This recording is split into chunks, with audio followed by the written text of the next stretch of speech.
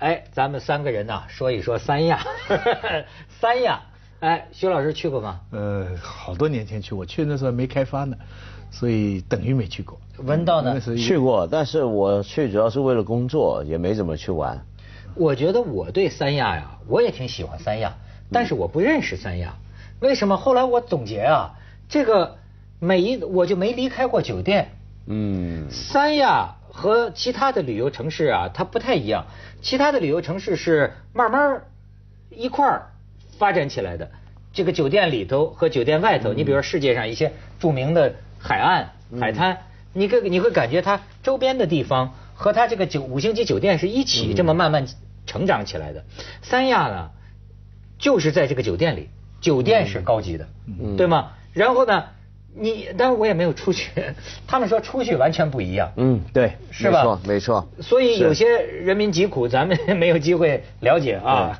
说三亚宰客的问题，一开头三亚说呀，今年三亚非常好，嗯，没有一个投诉电话说宰客。这就我发现以后政府不能这么叫板，你这么一叫板呐，哗啦哗啦都来了，说我们几个人吃了顿饭九千多块钱，晒发票，哗哗哗，全晒出来。最近闹得一塌糊涂，你没听说吗？听说，早这其实三亚宰客这是历史现象了，已经是好像十多年来都这样。是吗？对，就打从三亚发展成旅游城市开始，它那个海鲜摊啊，那个。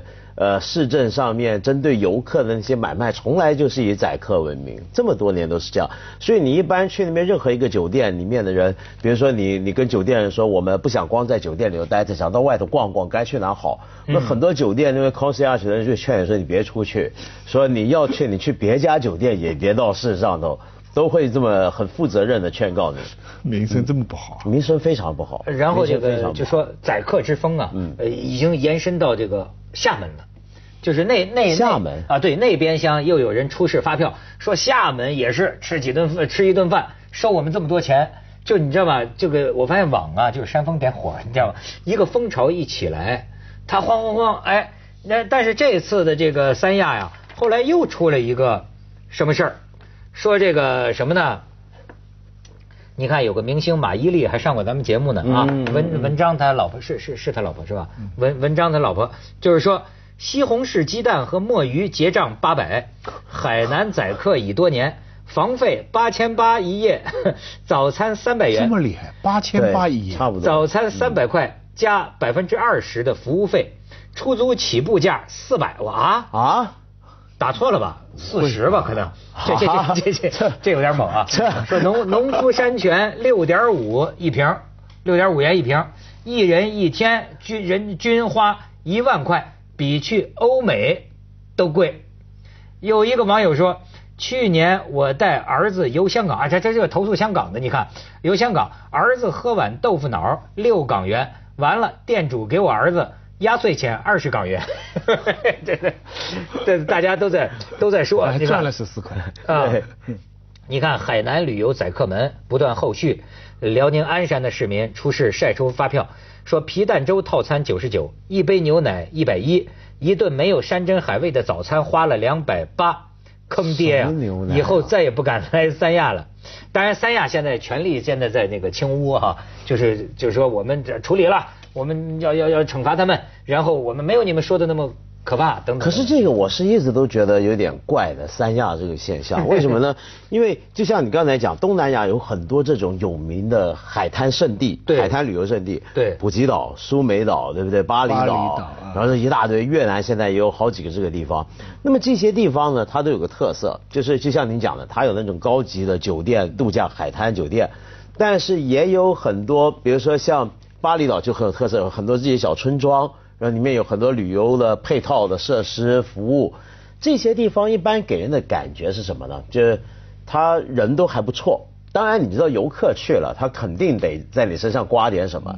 但起码你被刮的很心甘情愿。因为你觉得那些人民风很好，像泰国、印尼这几个地方民风很好，和感觉很淳朴，然后很有风情，呃，各种服务什么也都很到位。好，但在我看来，三亚最怪就是三亚那个城市那个环境跟每家酒店的距离差太远。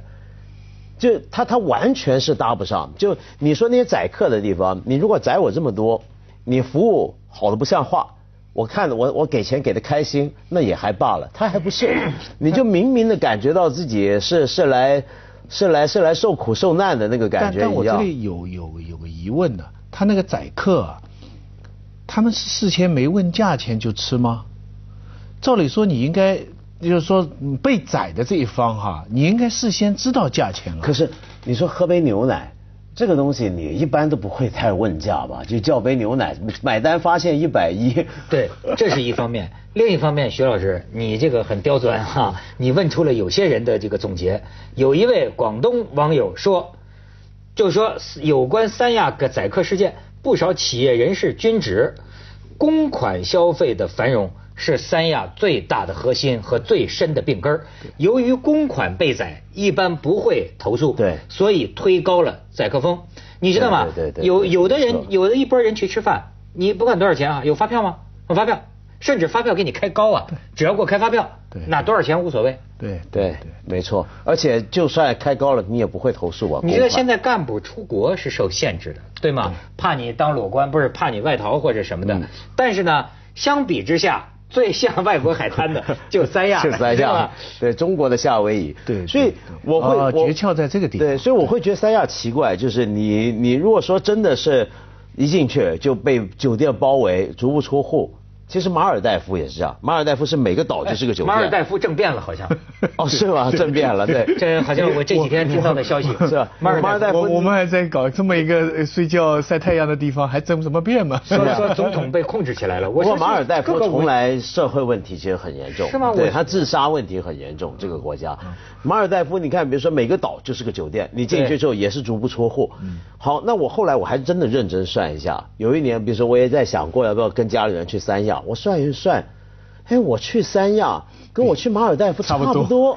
那我干嘛要去三亚呢？你说？对，对于没有公款支持的人，就算了吧。这这真的是，尤其是春节啊，啊，太离谱了。他们说还贵，比马尔代夫都贵。哎呀，很贵很贵。哦，做官的他是这样，他出国会受限制，他在国内再贵都没关系。没错。哎，不是，还有一个，你也不能冤枉人家做官的花公费啊。这个三亚它有一种什么情况？这也分析到中国现在的一种。呃，一种人情，你知道吗？就是说，最高的一个老板前一阵儿是花了三百万，干什么呢？他要呃亲朋好友一起组织上三亚，大家过个春节，你明白吗？那这个亲朋好友里就什么人都有，有七大姑八大姨，但是也有他做生意上经常来往的干部、官员，你知道吗？人家官员没有花公家钱呢，是私企的老板，嗯。请的，请的呀，给买的单呢。嗯嗯，那你说这个，人家没花你们人民的钱呢。我我我我我注意到有个新闻，就是说讲哪个地方我忘了，是是广州还是广东还是深圳还是怎么样？就是说裸就是裸官啊，就不能担任正职。对对，你听过没有？就是说就是说你你的老婆孩子要是在国外的话。你在这里做官就做不高，这个规定，对，这个我觉得也许他有实际上的考虑，因为可能有很多贪官是先家里人跑出去，然后才做，但是从逻辑上讲啊，我觉得信任，就是说对人的，包括对我们我党干部的不信任。好，就是你不能假定他的家里人是在别的国家，或者是别的国家的人，就假定他不会。因为我我的感慨是哪里来的？我我刚看那个昂昂山素姬啊，那个电影。嗯。那昂山的老公，昂山素姬的老公是英国人呐。嗯。可是缅甸人民这么爱戴他，那么信任他。嗯。他们不要要要照中国人逻辑来说，那昂山素姬不是是裸叫叫裸老师，你你这个不是官员呐。但是他是。他是一一个民很大的民主力量的领袖，掌权的。就是徐老徐老师的亲戚是裸官嘛？锵锵三人行，广告之后见。